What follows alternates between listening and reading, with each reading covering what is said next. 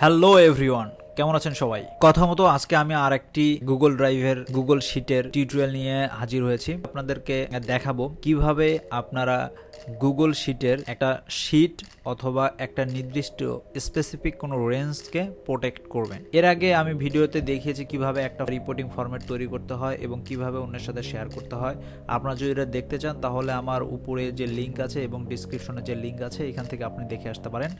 So আজকে আমি যেটা দেখাবো, কীভাবে আপনি যে শিটটা আপনি তৈরি করেছেন, আপনি এটাকে কীভাবে প্রোটেক্ট করবেন, কাকে আপনি ডিফারেন্ট পাওয়ার দিবেন, কাউকে এটা এডিট করার ক্ষমতা দিবেন, কাউকে এডিট করতে পারবে না, কেউ শুধু ভিউ করতে পারবে। এইভাবে আপনি বিভিন্ন ওয়েতে এটাকে প্রোটেক্ট করতে পারবেন সো সাপোজ আপনার এই যে ড্যাশবোর্ডটা আমরা বানিয়েছিলাম, এখানে সাপোজ যে ড্যাশবোর্ড অপশনটা এটা শুধু আপনার, আপনি হেড অফিস থেকে এই রিপোর্টগুলো দেখতে চাচ্ছেন। সো এই শিটে যেন আর কেউ না অ্যাক্সেস করতে পারে, এইখানে যেন কোনো কিছু এডিট না করতে পারে, এই জন্য এই শিটটাকে আপনি লক করে দিতে চাচ্ছেন। কোনো ইউজার এখানে এসে কোনো ইনপুট দিতে পারবে না। তাহলে আপনার যে ফরম্যাটিংগুলো আছে, এগুলো নষ্ট হয়ে যেতে পারে।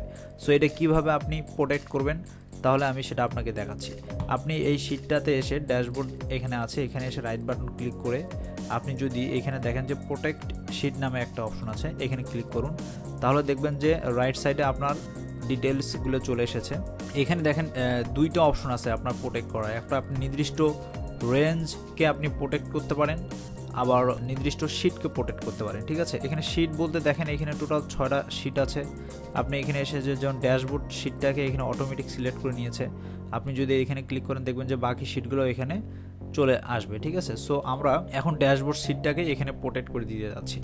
সো এই শিটটাকে যখন প্রোটেক্ট করব, এখানে আবার এক্সেপ্ট মানে আপনি চাচ্ছেন যে এটাকে, পুরোটাকে প্রোটেক্ট করবেন, কিন্তু একটা, দুইটা ওর একটা নির্দিষ্ট কয়েকটা সেলকে আপনি প্রোটেক্ট করতে যাচ্ছেন না। যদি সেইটা করতে চান, তাহলে এখানে ক্লিক করবেন।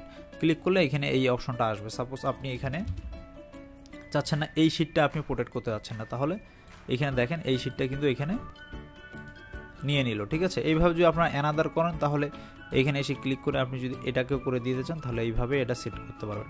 সো আমি এইভাবে ফিক্সড করে নিয়ে, আপনার যদি এরকম পুরো শিটটাকেই যদি আপনি প্রোটেক্ট করতে চান, কাউকে